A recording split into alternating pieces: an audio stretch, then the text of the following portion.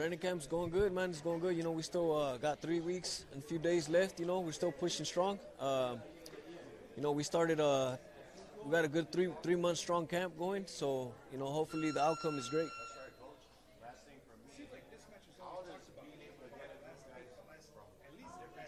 Yeah, yeah.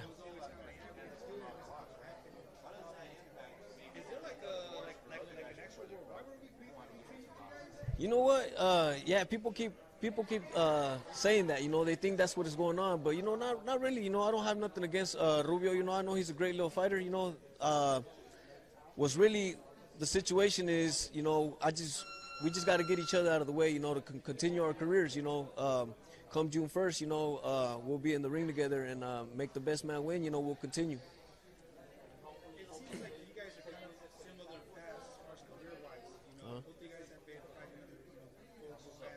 Yeah. But it seems like you guys now you get got to take it to the next level. Where like, okay, now these guys are real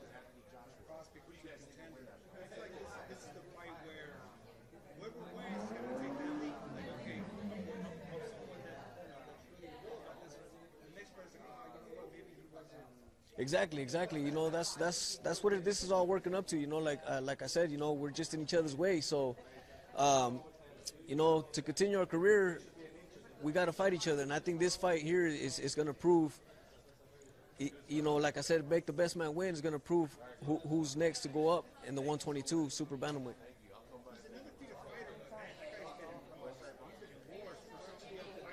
Yeah.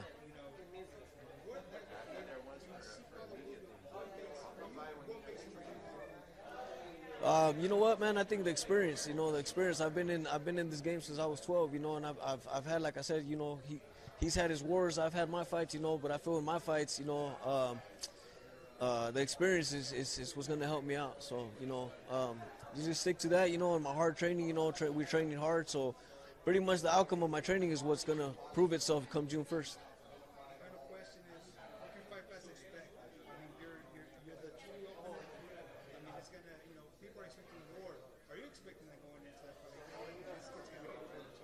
You know, I hope so. I hope so. I'm kind of expecting a, a action-packed fight, kind of like uh, Linares and Loma. You know, I want I want something like that for the fans. You know, because I know I've seen his fights. I'm pretty sure he's seen my fights. You know, and I think we both like going forward. You know, we don't like going back. So I hopefully it sticks that way. You know, I want to give the fans what they want to see.